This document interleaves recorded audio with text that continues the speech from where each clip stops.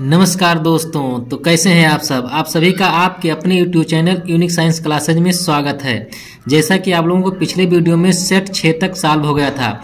आज आप लोगों के लिए लाए हैं कक्षा बारह का जीव विज्ञान, सेट सात 2023 का तीन सौ अड़तालीस सी तो आइए बिना देरी के हुए सॉल्व करते हैं। वीडियो के अंत तक बने रहेगा ताकि आप लोगों को संपूर्ण सिलेबस और संपूर्ण जानकारी मिल सके। तो आइए पहले क्वेश्चन को सॉल्व करते हैं। इनमें से कौन सा प्राग प्रागकण में पाए जाते हैं? तो दर, दो नर युग्मक प्रागकण में पाए जाते हैं क्योंकि प्रागकण जो होता है जब उसमें अर्सूत्री विभाजन होता है तो अर्सूत्री विभाजन के दौरान क्या होते हैं? दो नर युग्मक का क्या होता है? निर्माण होता है। अगला देखेंगे, एक प्रागकोश में प्रागधानियों की संख्या कितनी होती है? तो आप लोग जानते हैं, एक प्रागकोश में प्रागधानियों की संख्या कितनी होती है? चार होती है। अगला क्वेश्चन है, जो के 200 दाने बनाने के लिए कितने अर्थसूत्री विभाजन की आवश्यकता होने चाहिए? तो जो के 200 दाने बनाने के लिए 250 सूत्री विभाजन की आवश्यकता पड़ती है। अगला क्वेश्चन है, एक का घा, जमजात उपापचयी त्रुट है। जमजात उपापचयी त्रुट जो रोग है, वो फिनाइल क्यूटोनीरिया है। इसका ऑप्शन ये सही है। अगला क्वेश्चन है प्रश्नोत्तर नंबर संख्या दो का का।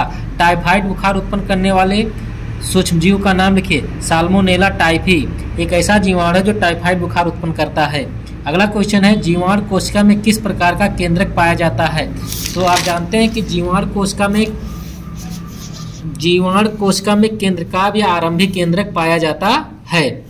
अगला क्वेश्चन मानसर फल का नामांकित चित्र बनाइए। ये आपके सामने एक फल का संरचना बना हुआ है। ये मानसर फल है, ये इपिकार्प है, ये मिसोकार्प है, ये सीड्स है, ये इंडोकार्प है। इस तरीके से एक मानसर फल की क्या होती संरचना बनती है।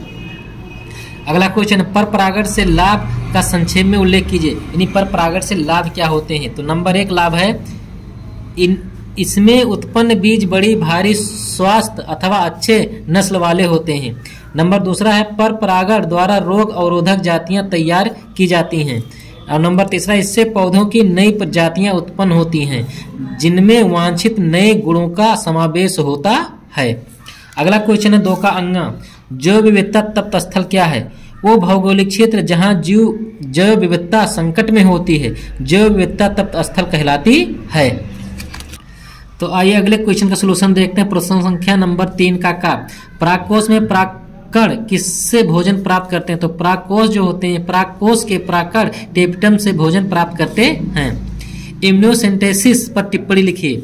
यह उद्बोधन एक ऐसी तकनीक है, लगभग 200 मेल उल्ब द्रव मादा के गर्भ से निकाला जाता है। इस द्रव का अपकेंद्रण किया जाता है। कोशिकाओं को लिंग परीक्षण के लिए जांचा जाता है एवं शुद्ध डीएनए का विश्लेषण किया जाता है।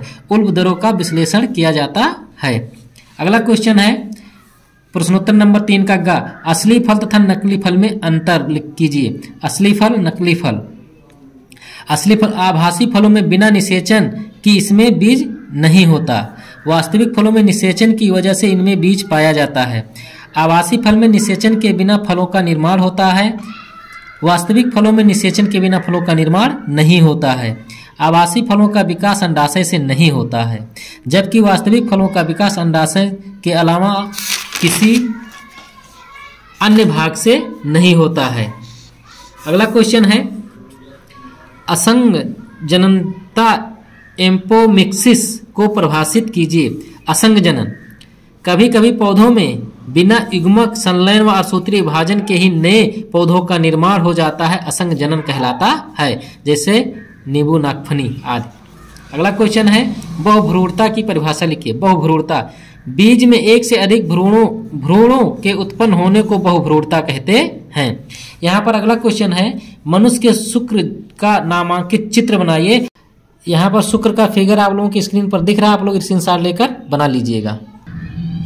यहाँ पर अगला क्वेश्चन है युवा पराकोष के अनुप्रस्थ काट का नामांकित चित्र बनाइए। युवा कहीं कहीं युवा पराकोष पूछता है कहीं कहीं परिपक्व पराकोष पूछता है। तो दोनों एक ही है, न युवा हो परिपक्व में आप लोग थोड़ा डिसबैलेंस हो जाए। तो आइए, ये क्या है? एक युवा पराकोष की क्या है? संरचना है। इस तरीके से आप संरचना बना लीजिएगा। अगला क्वेश्चन है, परिवार नियोजन पर संक्षिप्त टिप्पणी लिखिए। परिवार नियोजन का सीधा अर्थ होता है, परिवार को सीमित रखना। तो आइए देखते हैं, मानव एक सामाजिक प्राणी है, मानव जात में एक परिवार ही जनसंख्या का इकाई है। मानव संख्या की वृद्धि को कम करने के लिए नियोजित तरीके से संतानों की उत्पत्ति की दर को दर को कम करना ही परिवार नियोजन कहलाता है। मानव जनसंख्या वृद्धि दर के नियंत्रण हेतु शिक्षा का प्रसार, रोज़गार का विकास, परिवार कल्याण संबंधी कार्यक्रमों को प्रोत्साहन, स्वास्थ्य एवं यौन शिक्षा संबंधी जानकारी, परिवार नियोजन आदि। परिवार नियोजन की आवश्यकता। आइए देखते हैं परिवार नियोजन की क्या आवश्यकता होती है। परिवार नियोजन की आवश्यकता को हम निम्न प्रकार से समझ सकते हैं। छोटा परिवार, सुखी परिवार, पालन पोषण का प्रभाव और दूसरा चीज़ एक और है नारा है, हम दो, हमारे दो। अगला क्वेश्चन है डीएनए उंगली छाप का एक विवरण दीजिए। आप देखते हैं कि अलग अलग मानों के डीएनए के न्यूक्लियोटाइड क्रम की तुलना करके उनके बीच संबंध के अध्ययन की प्रक्रिया को डीएनए फिंगर प्रिंटिंग कहते हैं। डीएनए फिंगरप्रिंटिंग की खोज एलेक्स जेफरी सहयोग जेफरी व उनके सहयोगों ने 1985 में की थी। डीएनए फिंगरप्रिंटिंग को डीएनए प्रोफाइलिंग अथवा डीएनए टाइपिंग भी कहते हैं, क्योंकि डीएनए की जो फिंगरप्रिंटिंग होती है इसलिए करवाई जाती है क्योंकि जिससे हत्या बलात्कार अपने ब्लड ग्रुप का पता चल सके। यह एक बहुत ही अच्छी विध है। अगला देखेंगे। रिस्ट्रिक्शन एंजाइम से आप क्या समझते हैं? स्पष्ट कीजिए।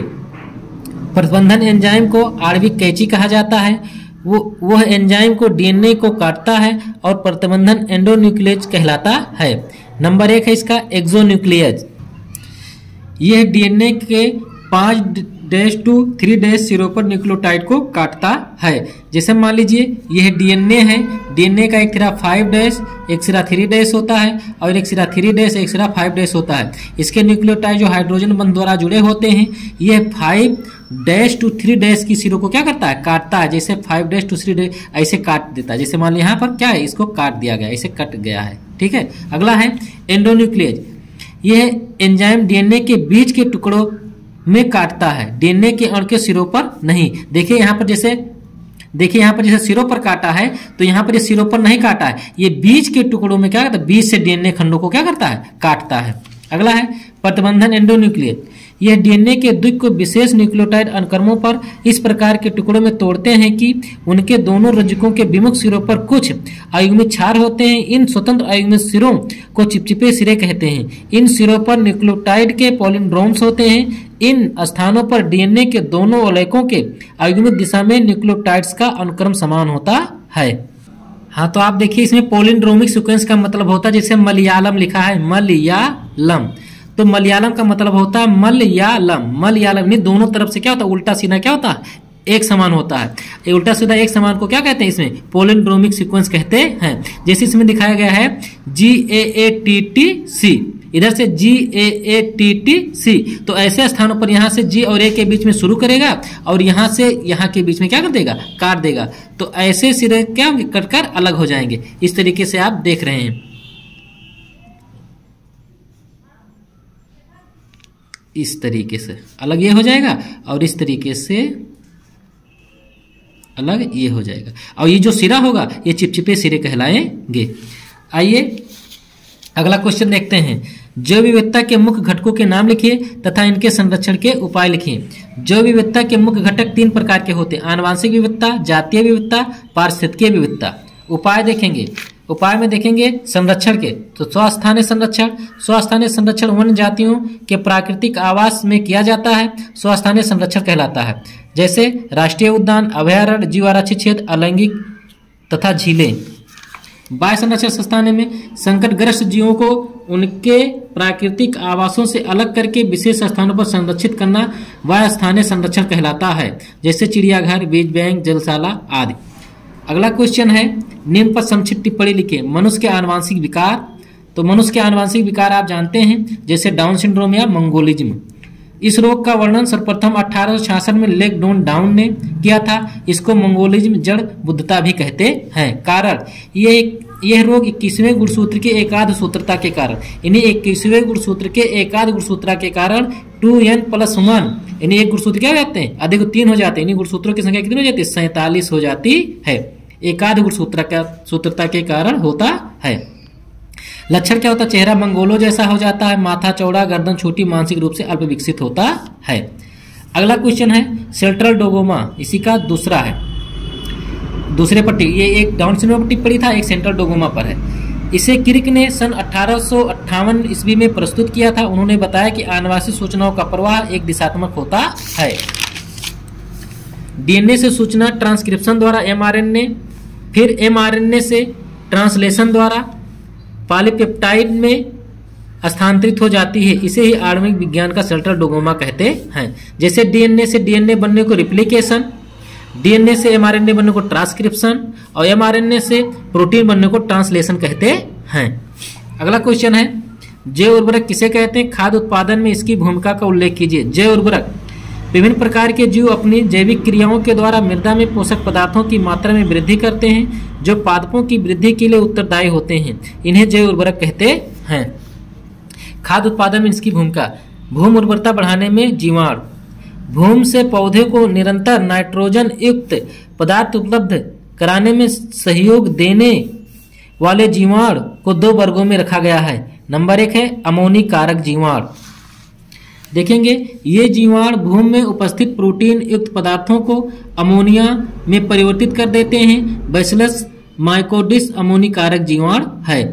आप लोग वीडियो के अंत तक बने रहिएगा, आपको पूरा संपूर्ण जानकारी मिलेगी, पूरा नोट्स मिल जाएँगे इस सेट का। अगला क्वेश्चन है, नाइट्रोजन स्थिरीकरण कुछ जीवाणु वायु से उपस्थित नाइट्रोजन को नाइट्रोजन युगकों में बदल देते हैं। जैसे आप जानते हैं, कुछ जीवाणु ऐसे होते हैं जैसे राइजोबियम होता है, नाइट्रोबैक्टर होता है जेटोबैक्टर होता है, या ऐसे जीवाणु होते हैं जो वायुमंडल से नाइट्रोजन का स्थिरीकरण करके युगकों में बदलते हैं। किन्हीं दो पर संक्षिप्त टिप्पणी लिखिए red data book red data book I द्वारा जारी एक विशेष किताब है, जिसमें विलुप्त संकटग्रस्त क्षति हाँ क्षतिग्रस्त, दुर्लभ, सुलभ तथा अनाकलित जीव जातियों का सूचीबद्ध विवरण दिया जाता है। रेड डाटा बुक कहलाता है।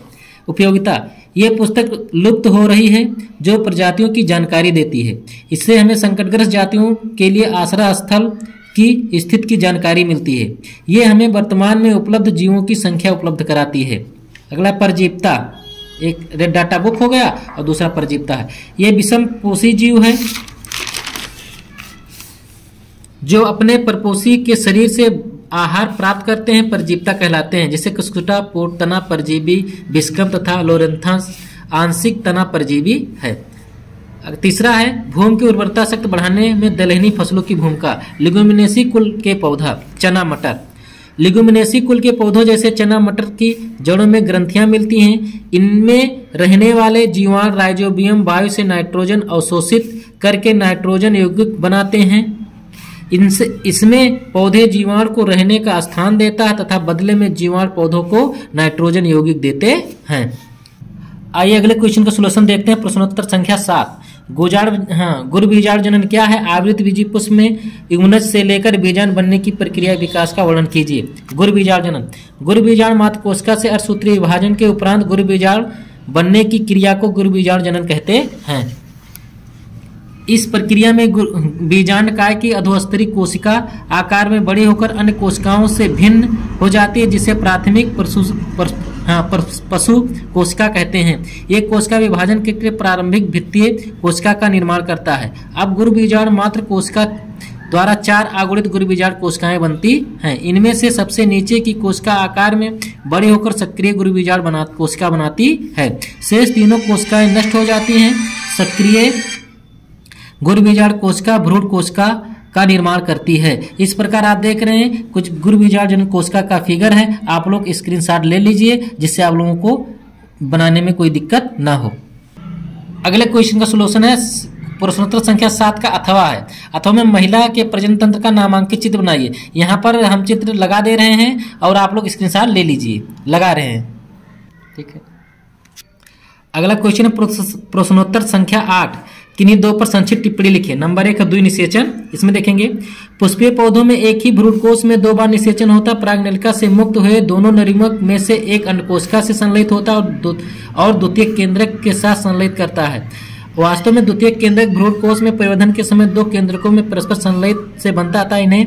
इनमें दो गुणसूत्र होता है। इसी कारण जब यह जब नरिगमक से संलयन करता है तो यह प्रक्रिया त्रिगुणित केंद्रक बनता है। यह त्रिगुणित बनता है, इसे प्राथमिक भ्रूणपोष तथा इस क्रिया को त्रिसमेकन कहते हैं। आवृत बीजी पौधों में दो बार नर युग्मक निषेचन में भाग लेते हैं, अर्थात दो बार निषेचन होता है, अतः यह दोहरा निषेचन या द्विनिषेचन कहते हैं। इसका पता सबसे पहले नवासीन ने अठारह ईस्वी में लगाया था। जैसे यहाँ पर सत्य निषेचन, यहाँ प्राथमिक नर युग्मक है, और यहाँ पर क्या अंड कोशिका है। दोनों क्या हुआ निषेचन के तो टू युग्मज का निर्माण हुआ। लेकिन तिर समीकरण में क्या होता है? सत्य निषेचन दोहरन हाँ ये सत्य निषेचन है तिर समीकरण में क्या है? द्वितीय केंद्र, क्योंकि यहाँ पर द्वितीय केंद्र के पास टू एन पहले से रहता है यह आता है तो फर्टिलाइज करता है तो तीन एन का निर्माण करता है। तो यह प्रक्रिया क्या कहलाती तिर समीकरण कहलाती है। अगला है टिप्पणी, दूसरा टिप्पणी बहितमल उपचार। अपशिष्ट पदार्थों में मल मूत्र का अतिरिक्त कूड़ा, करकट व नगरों से आने वाले जल भी सम्मिलित होता है। इसमें उपस्थित ठोस पदार्थों को सड़ाने में सूक्ष्मजीवों की अहम भूमिका निभाता है। अगला प्राथमिक उपचार। ये प्राथमिक हाँ ये उपचार बिना जीवाणुओं के होता है। इसमें वांछित मल से बड़े, छोटे कण निषेधन तथा अवसाधन द्वारा अलग किए जाते हैं। सबसे पहले कूड़े करकट को निषेधन द्वारा अलग हटा देते हैं। इसके बाद मृदा व कड़ियों व अवसाधन द्वारा अलग किया जाता है। अगला द्वितीय उपचार, प्राथमिक उपचार को बायोटंकों से गुजारा जाता है, जहाँ से लगातार हिलाया जाता है। साथ ही इसमें वायु पंप की जाती है, ऑक्सीजन मिलने पर वायु सूक्ष्मजीव तेज़ी से वृद्धि करते हैं। ये वहितमल से दूषित जल में उपस्थित कार्बनिक पदार्थों को विघटित कर उनसे ऊर्जा प्राप्त करते हैं। इससे घुलित कार्बनिक पदार्थों की मात्रा धीरे धीरे घटने लगती है और इसमें उपस्थित सूक्ष्मजीवों की ऑक्सीजन की आवश्यकता बीओडी भी कम होती जाती है। इस बीओडी का मतलब होता है बायोलॉजिकल ऑक्सीजन डिमांड कम होती जाती है। इसका अर्थ है कि वहितमल से प्रदूषण शुद्ध हो गया। देखिए देखिए हाँ यहाँ पर क्या प्राथमिक उपचार द्वितीय उपचार, बायोटैंक प्राकृतिक कई बार आ चुका है, आप लोगों को हर वीडियो में मिलेगा तो आप लोग इसका इंश्योरेंस ले लीजिए और आप फिगर बना लीजिए। आप लोग वीडियो के अंत तक बने रहिएगा और नोट्स बनाते रहिएगा, ताकि आप लोगों की पढ़ाई में बाधा ना पड़े, क्योंकि एग्ज़ाम बहुत ही नज़दीक है और एग्ज़ाम को देखते हुए नोट से बनाना पड़ रहा है कि कम समय में ज़्यादा कंटेंट दिया जाए। चलिए, अगला क्वेश्चन है निमोनिया की रोकथाम। निमोनिया की रोकथाम निम्न है। रोगी को ठंड से बचना चाहिए। खाने के तरल और सुपाच्य भोजन देना चाहिए। रोगी को पूर्ण विश्राम करना चाहिए। अथवा इसमें देखेंगे, निम्न फलों में निम्न फलों में अंतर कीजिए। फली तथा लोमेंटम, अष्टफल तथा भिदुरफल तो आइए देखते हैं अंतर। फली तथा लोमेंटम। यह एक अस्फुटक फल है। लोमेंटम। यह एक सिग्जोकार्पिक फल है। अगला, इस प्रकार के फलों में फलभित, पृष्ठ और अधर संरचनाओं के साथ है। ये फल संकुचन के समय कई अलग अलग टुकड़ों में टूट जाता है। अगला है, मेरी कार्प नहीं बनता है, इसी, ऐसे टुकड़े अस्फुटन होते हैं और मेरी कार्प कहलाते हैं। अगला कोई अगला पॉइंट है फलभित्त के अस्फुटन द्वारा बीजों का प्रकीर्ण होता है। अगला है इसमें फलभित्त कभी नहीं फटती, बीज फलभित्त के अपघटन द्वारा मुक्त होते हैं। अगला अष्ठीर फल तथा भिद्र फल। अस्थिर फल मांसल फल होता है, जिसमें आमतौर पर एक ही बीज होता है। अस्थिर फल कोई भी फल है जो एक फूल के एकल अंडाशय से बढ़ता है, जहाँ अंडाशय की बाहरी परत फल की त्वचा या छिलके में बदल जाती है और बीज की परत वो है जो मांसल फल में बदल जाती है। भिद्र फल, ये फल परिपक्व होने पर बहुत से एक बीज फलाशंकुओं में विभक्त हो जाते हैं। फलाशंकु का निर्माण दो बीजों के बीच की फलभित्त के अंदर की ओर धस जाने से होता है, किंतु ये फलाशंक फिर फटते नहीं हैं। अष्टफल का एग्ज़ाम्पल है चेरी, आम, जैतून और भिदुर फल का एग्ज़ाम्पल है गाजर, धनिया। अगला क्वेश्चन है क्वेश्चन नंबर नौ। संक्षिप्त टिप्पणी के, मनुष्य में निषेचन। मनुष्य में आंतरिक निषेचन होता, नर युग्मक शुक्राण मादा की देह में मैथुन प्रक्रिया द्वारा पहुँचता है। इस इस हाँ इस क्रिया हेतु तो मैथुन अंग होते हैं शुक्राण अत्यंत सक्रिय तथा सच, सचल होते हैं। मादा की यौन में लाखों शुक्राण प्रवेश करते हैं तथा वह सर्विक्स एवं गर्भाशय की ओर भ्रमण करते हैं। अंतः ये फेलोपियन नलिका में केवल एक ही शुक्राण द्वारा अंडाण का समागम होता है इसके पश्चात मासिक धर्म बंद हो जाता है। यह एक अंडाण की क्या संरचना है? आप देख रहे हैं शुक्राण आया और अंडाण से क्या हुआ? फ्यूज कर लिया और फ्यूज करने के बाद क्या हो गया? जायगोट का निर्माण हो गया। अगला क्वेश्चन है, सहज प्रतिरक्षा तथा निष्क्रिय प्रतिरक्षा। सहज प्रतिरक्षा। सहज प्रतिरक्षा एक आविष्ट रक्षा प्रणाली है यह है, जन्म से ही मौजूद होती है तथा आनुवांशिक होती है। अतः इसे हम आनुवांशिक प्रतिरक्षा या प्राकृतिक प्रतिरक्षा कहते हैं। यह प्रतिरक्षा हमारे शरीर में प्रवेश करने वाले बाह्य कारकों को रोकता है व उन्हें नष्ट करता है। यह बाह्य कारकों के सामने विभिन्न प्रकार के अवरोध खड़ा कर देता है। शारीरिक अवरोध शारीरिक अवरोध में सबसे प्रमुख त्वचा है जो किसी भी बाह्य कारक शरीर में प्रवेश करने से रोकती है। जैसे श्वसन है, जठरांध है, जनन मूत्र पथ है, आस्तारित करने वाली इपिथिलियम की श्लेष्मा आलेख बाह्य कारकों को शरीर में प्रवेश करने से रोकती है। कायिक अवरोध। इसके अंदर लार, आँख के आँसू व आमाशय में एच आता है। कोशिकीय अवरोध। हमारे शरीर के रक्त में P N L polymorphonuclear leukocyte Shwetang monocyte, lymphocyte. पर्दा अवरोध जब त्वचा में संक्रमण या ऊतक क्षय होता है तो वहाँ लालपन सूजन जैसी स्थानीय प्रक्रिया होती, प्रदाह प्रक्रिया कहलाती है। साइटोकाइन अवरोध विषाण संक्रमित कोशिकाएँ विशेष प्रकार की प्रोटीन, जिन्हें इंटरफेरान कहते हैं, स्रावित करती हैं, जो आसपास की असंक्रमित कोशिकाओं को इन विषाणुओं से बचाती हैं। अगला इसी में निष्क्रिय प्रतिरक्षा। जब शरीर की रक्षा के लिए बनाए गए एंटीबॉडी सीधे शरीर में दिए जाते हैं तो यह निष्क्रिय प्रतिरक्षा कहलाती है। जैसे एग्ज़ाम्पल है, दुग्ध श्रावण के शुरुआती समय में दूध में उपस्थित पीने वाले पदार्थ, जैसे कोलेस्ट्रम पेउस जिसे बोला जाता है। पेउस कहते हैं हाँ ये में एंटीबॉडी आईजीए उपस्थित होता है। अगला अगला क्वेश्चन पुरुषोत्तम नंबर, संख्या का नौ का अथवा। अथवा है, आनुवांशिक कूट पर निबंध लिखिए तो आनुवांशिक कूट में जो भी लिख दें वही कम है। आनुवांशिक कूट देखेंगे। प्रोटीन संश्लेषण में 20 अमीनो अम्ल भाग लेते हैं। इनके लिए कम से कम 20 कोडान होने चाहिए। इसका अर्थ है कि आरएनए के चार प्रकार के नाइट्रोजन क्षारों के तीन समूह का अनुक्रम पॉलीपेप्टाइड श्रृंखला में एक एक अमीनो अम्ल के अनुक्रम को निर्धारित करता है। तीन नाइट्रोजन क्षारों के एक अनुक्रम को त्रिक कोडान कहते हैं। इस प्रकार आनुवांशिक आनुवांशिक संकेत पद्धति में कुल चार की पावर तीन यानी चौसठ कोडान होते हैं। इन चौसठ कोडान में इकसठ कोडान सक्रिय होते हैं तथा तीन कोडान स्टाफ कोडान होते हैं। यानी तीन कोडान जो होते हैं U A A U A A U G A और U A ji you A जी ये ऐसे कोडान हो जो किसी अमीनो अम्ल को कोड नहीं करते, इसलिए क्या होता है, स्टाफ कोडान होते हैं। इसमें एक कोडान होता है ए यू जी क्या होता है? ए यू जी ये दो कार्य करता है। ये अमीनो अम्ल को भी कोड करता है, अमीनो अम्ल मिथियानिन को कोड करता है, और दूसरा कार्य करता है ये ये स्टार्ट कोडान है। यहाँ से प्रारंभन शुरू होता है। अगला है जेनेटिक कोडान की विशेषता। आनुवांशिक कोड का प्रत्येक कोडान एमआरएनए के तीन नाइट्रोजन क्षारकों में एक विशिष्ट अनुक्रम का बना होता है। दूसरा, दो संलग्न कोडान के बीच कामा नहीं लगा होता। जैसे यू ए है यू ए ऐसे यू जी ए लिख देंगे तो इसके बीच में कामा नहीं लगता। एक विशिष्ट कोडान सदैव एक ही अमीनो अम्ल को कोडित करता है।